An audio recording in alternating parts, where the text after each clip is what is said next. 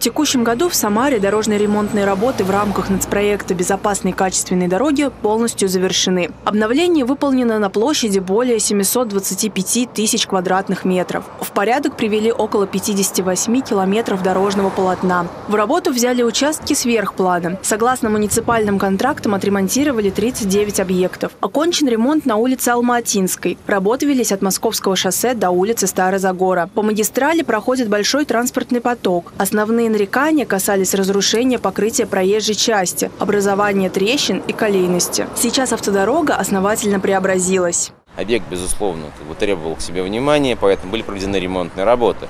Были выполнены работы по фрезерованию асфальтобетонного покрытия разрушенного старого и э, нанесение, укладка асфальтобетонного покрытия ЩМА-16 на полимерно-бетонное вяжущее. Специалисты профильного ведомства выехали на объект, чтобы проверить геометрические параметры отремонтированной дороги. Они должны соответствовать нормативным документам и условиям муниципального контракта. Предварительно были отобраны керны для исследования асфальтобетонной смеси в лаборатории. Все испытания показали, что работа выполнена качественно и установленный срок. Гарантия на покрытие составляет 5 лет. Жители уже успели оценить обновленную дорогу. У меня дача в Красном Яру, я здесь проезжаю.